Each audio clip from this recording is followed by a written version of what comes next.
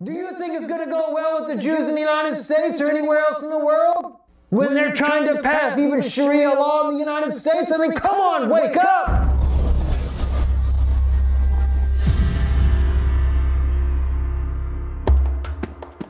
You know, people need to wake up what's going on. My brothers in Israel, you need to wake up.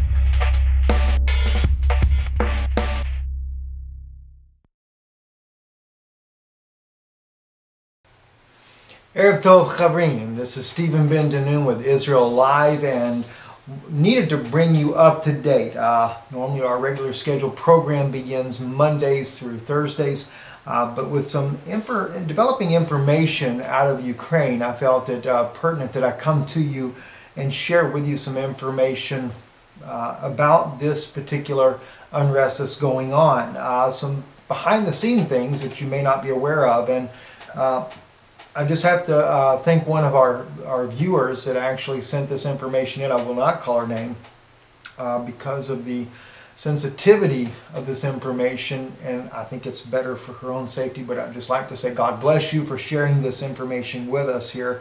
Uh, an article here that was posted on. Um, uh, it's called Press Investigative Reports, uh, Catholic Church declared and waged war against Ukraine for daring to exit the EU. Uh, let me just kind of bring you up to speed on some things, though, so that you're aware of these facts before we get into this. Uh, one thing, um, let's go back a little bit in the history just so you can see what the EU, who, what the EU really is, how it got started, when it got started, and its establishment. Now, this was an article written by Paul W. Kincaid from the CI Press Corps. He's a CI Press Corps uh, editor on February 23rd, 2014 is when he wrote this. The EU was created as, as a result of the uh, uh, Reichsconcordant, sorry for me to say that, Reich Concordant uh, treaty alliance between the Vatican, the Holy See, and Adolf Hitler. The Concordant formed the Vatican Third Reich, Third Holy Roman Empire. The treaty alliance between the Holy See, the Vatican, and Adolf Hitler was signed during Germany's transition into Nazi Germany on July 20th, 1933. Um, interesting. It was signed by the Vatican Secretary of State uh, Eugenio uh, who very soon thereafter became Pope Pius XII. Fascinating facts there. On behalf of Pope Pius uh, XI and Vice Chancellor Franz von Papen, and President Paul von Hindenburg on behalf of Adolf Hitler. The framework for the Vatican EU was first made public in Germany on the 22nd of June 1940 as the European Economic Community, the EEC.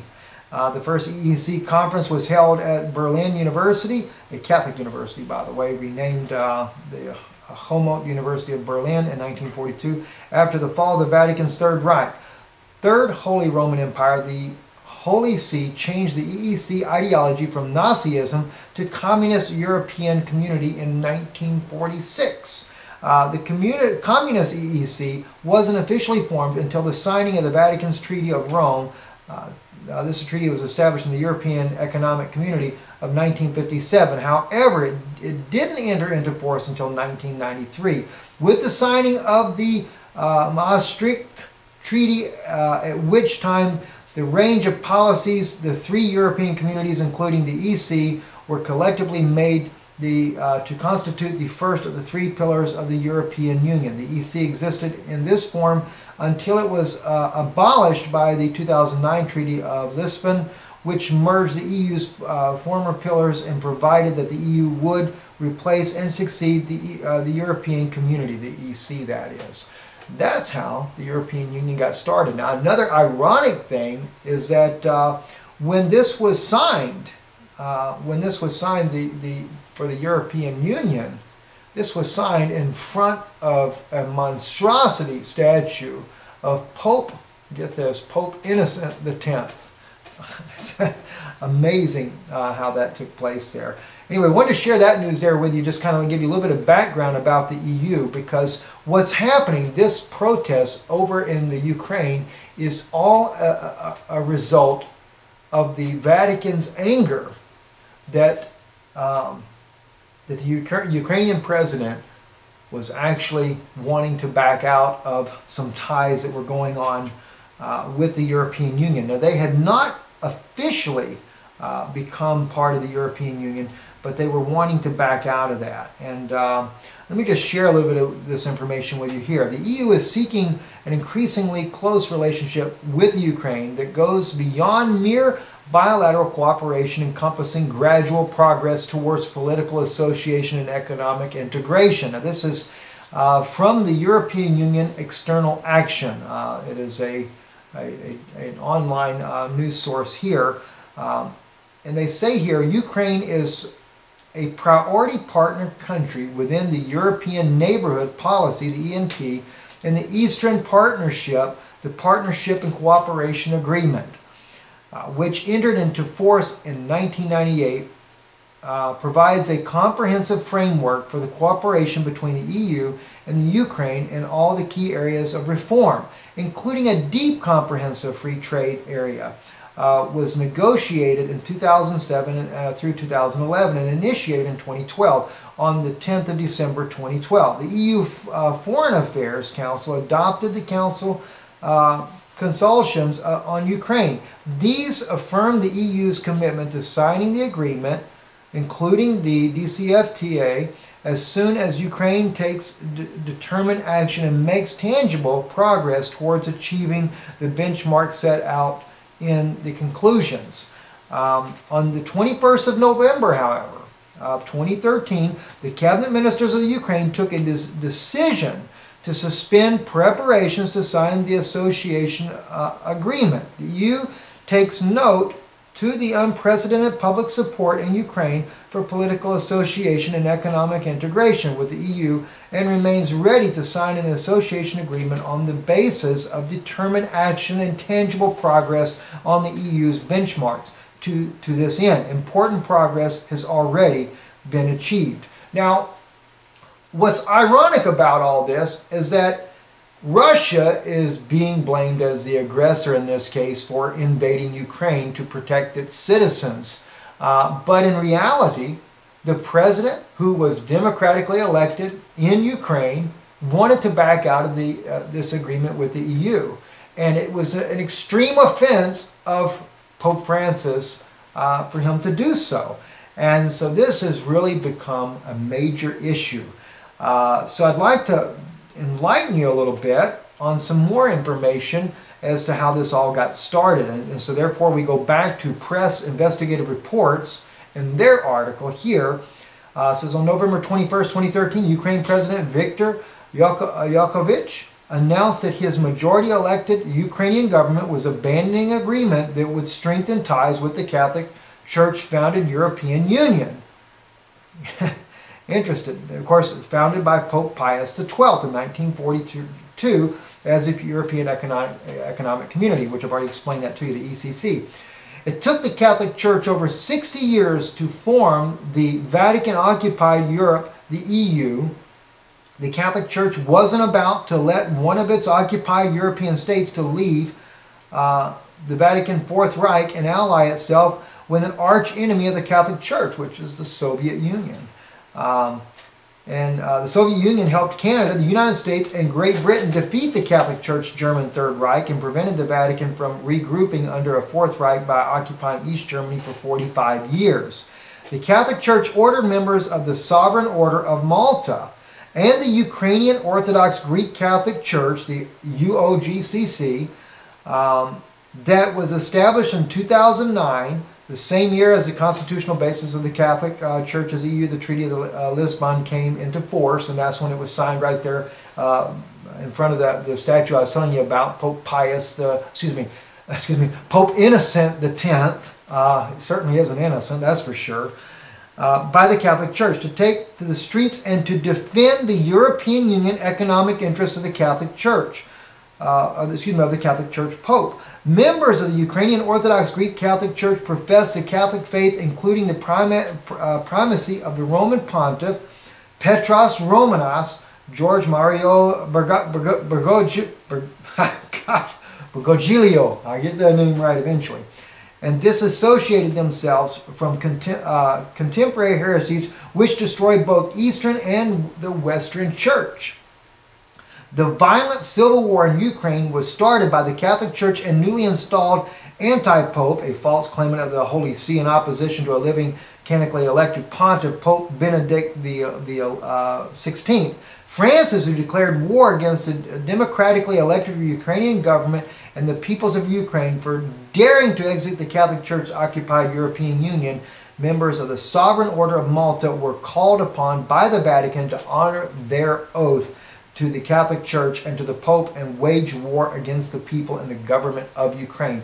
And you guys, uh, if you listen to uh, our Israel Returns uh, channel there on YouTube, Stephen Ben Danoon, you know we, we, we've shared with you uh, the Jesuit oath, and that is, no matter what it is, regardless of rank, there to annihilate all heretics.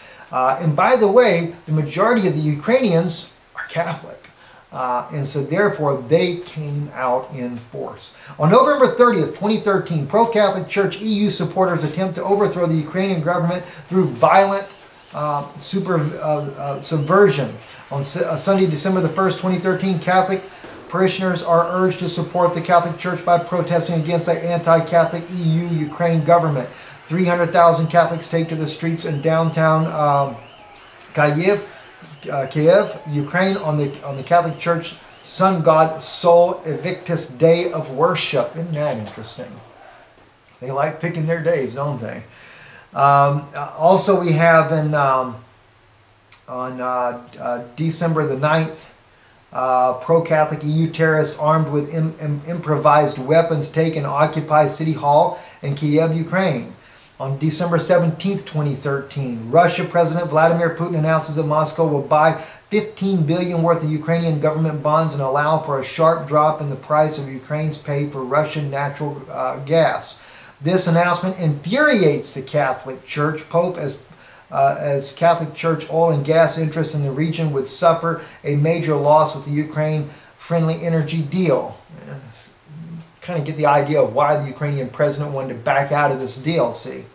Uh, two protesters die after, this is on January 22nd, 2014, uh, two protesters die uh, after being hit by Catholic Church terrorist sniper, and a third after fall during a confrontation between police and demonstrators manning barricades. The first shots and casualties of the Catholic Church war against Ukraine. On the 28th of January 2014, the prime minister is forced to resign, and, and parliament is forced under uh, duress to repeal the new anti protest laws that, that set off the Catholic Church, ordered deadly violence and attacks against the Ukraine government and people a week earlier. Both are imposed by the Catholic Church with the internet to seize control of the elected government of the Ukrainian people.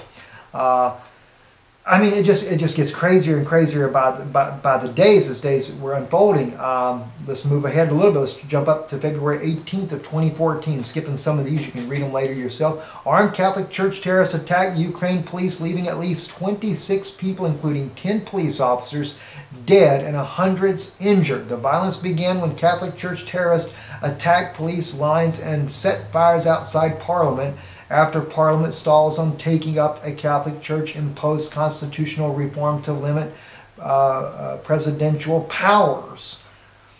Oh my gosh. On February 20th, 2014, hours after a truce, truce is announced, armed Catholic Church terrorists attacked protesters and police in Independence Square, Kiev, Ukraine, with numerous casualties.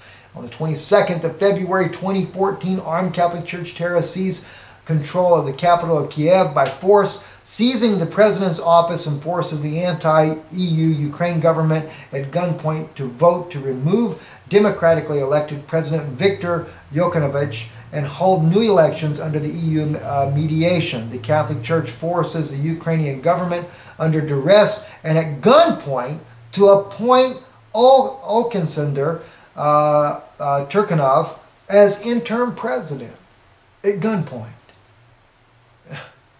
So much for democracy, right? 88 people have been killed since uh, February the 18th, and the Catholic Church provoked civil war in Ukraine, murdered by the Catholic Church because a trade deal with the Catholic Church controlled EU, occupied Europe, was spurned in favor of a closer ties with Russia. Now you kind of wonder why then Obama is brave enough to confront Vladimir Putin? That's because the United States is under Vatican control as well. That's why I was told rather nicely keep my mouth shut about the Vatican. You're causing problems. Well, this is also why the door is open for all these Catholic people that believe certainly that replacement theology is the right way to go.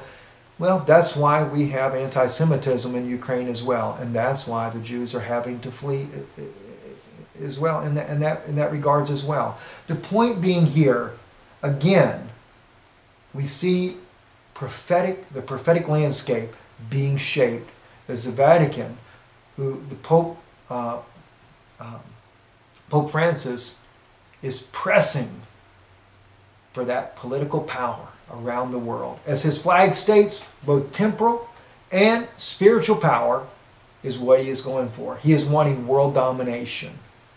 We're living in a serious hour, friends. I trust that we will really prayerfully seek the Lord in this closing hour of our world's history. Make ready. Pray like you've never prayed before. It's certainly an hour we should. Later, you can join us over at Steve, uh, Stephen Danoon's, uh, well, that's me. you can join us there at our, at our uh, YouTube channel. We'll be doing a teaching tonight, and I hope it'll be a blessing to you as well. Good night.